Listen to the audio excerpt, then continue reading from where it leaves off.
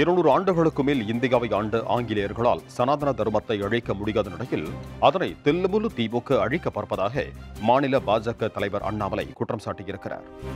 மூன்றாம் கட்ட என் மண் என் மக்கள் நடைபயணத்தை ஈரோடு மாவட்டம் பவானி கூடுதுறையில் மேற்கொண்ட அண்ணாமலை பொதுமக்களிடையே உரையாற்றினார். அப்போது பேசிய அவர் விவசாயம் என்று சொன்னாலே திமுக காதை மூடிக்கொள்வதாகவும் முன்னாள் முதலமைச்சர் காமராஜர் அணை கட்டிய நிலையில் திமுக அரசு மதுக்கடைகளை மட்டுமே திறந்து வருவதாகவும் சாடினார். ஏழை மக்கள் ஏழையாக இருக்க வேண்டும் என நினைக்கும் திமுக அரசு மதுக்கடைகளை மூடுவோம் என கூறிவிட்டு மதுவை உற்பத்தி செய்து வருவதாகவும் அவர்கள் எப்படி மதுக்கடைகளை மூடுவார்கள் எனவும் அண்ணாமலை வினா தொடுத்தார். கருணாநிதியின் மகள் என்பதால் கனிமொழி நாடாளுமன்ற உறுப்பினராக உள்ளதாகவும் ஏழை வீட்டு பெண்கள் எம்பி எம்எல்ஏக்களாக வர வேண்டும் என்ற நோக்கில் பிரதமர் நரேந்திர மோடி இடஒதுக்கீடு சட்டத்தை கொண்டு வந்துள்ளதாகவும் தெரிவித்த அண்ணாமலை இருநூறு ஆண்டுகளுக்கும் மேலாக இந்தியாவை ஆண்ட ஆங்கிலேயர்களால் சனாதன தருவத்தை அழிக்க முடியாத நிலையில் அதனை தில்லுமுள்ளு திமுக அழிக்க பார்ப்பதாக குற்றம் சாட்டினார்.